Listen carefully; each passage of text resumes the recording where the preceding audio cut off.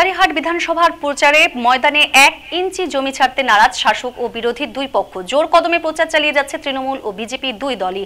সর্বশক্তি দিয়ে ময়দানে নেমে পড়েছে তৃণমূল ও বিজেপি। সকাল হতেই প্রচারে নেমে পড়ছে তৃণমূল ও বিজেপি। শনিবার সকাল চা বাগানে প্রচারে বেরিয়ে পড়েছে বিজেপি প্রার্থী রাহুল লোহার। চা বলয়ের ভোট বড় ফ্যাক্টর মাদারিহাট বিধানসভায়। এই মাদারিহাট বিধানসভায় চব্বিশটি চা বাগান রয়েছে। তাই চা বলাইয়ের ভোটকে পাখির চোখ করে ময়দানে নেমে পড়ছেন সবাই।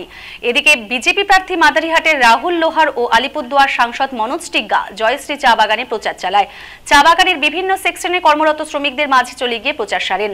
এদিন চা বাগানে টিফিনরত মহিলা চা শ্রমিকদের টিফিন থেকে অল্প অল্প করে খাওয়াইয়ে খাওয়া নিয়ে টিফিনও সারেন প্রার্থী রাহুল লোহার ও সাংসদ মনোজ টিগ্গা। দাঁড়িয়েছে তো দুইজন থাকলে কি হবে কাজ বেশি হবে যেরকম বলে না ডাবল ইঞ্জিন সরকার দেখবেন ইউপিতে বেশি কাজ দিল্লিতে মোদিজি এখানে যোগীজি কিন্তু বাংলায় কি হচ্ছে মোদিজি এখানে দিদি দিদি সব কাজেই বাধা দেয় সেই জন্য আমাদের যে রাহুল पानी भी नहीं है सब बंद हो गया बगान से पहले मालिक लोग रास्ता बना देता वो भी बंद है लेकिन मोदी जी देखिए पश्चिम बंगाल में नहीं रह के भी मोदी जी यहाँ पे फ्री में राशन पैंतीस किलो मिल रहा है कि नहीं मिलता है कि नहीं তাহলে মানতে হবে কি এই সরকার থাকলে কিন্তু মহিলারা সুরক্ষিত নাই। এক্সট্রা লিপ প্রাইস বলা হয়, সেটা এখনও বাড়েনি। অথচ কাঁচা পাতার দাম কিন্তু আকাশ ছোঁয়া হয়ে গেছে, চল্লিশ টাকা, পঞ্চাশ টাকা হয়ে গেছে, কিন্তু শ্রমিকরা এখনও তিন টাকা পাচ্ছে। আমাদের দাবি আছে যে, যেটা এক্সট্রা লিপ প্রাইস আছে ডাবলি আছে, সেটাও কিন্তু বাড়ানো হোক।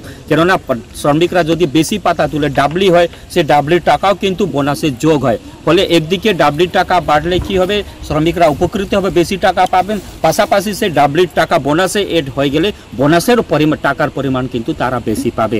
এই যে সমস্যাগুলো হচ্ছে, সকল সমস্যাগুলো তারা তুলে ধরেছেন। আমরা নিশ্চিতভাবে সব কিছু শুনেছি। আগামী দিন আমরা এই সমস্ত সমস্যা নিয়ে পূজার পরে একটা বড় আন্দোলনে নামবো, যেটা জমির পাট্টা আছে। আমাদের জমির পাট্টার বদলে আমাদের জমি মালিকানা অধিকার লাগবে।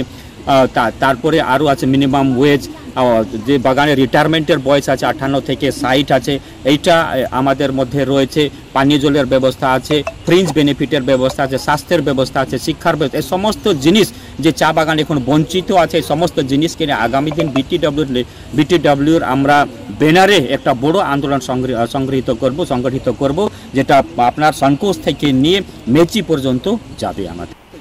আপনাদের দেখেন সকাল থেকে যত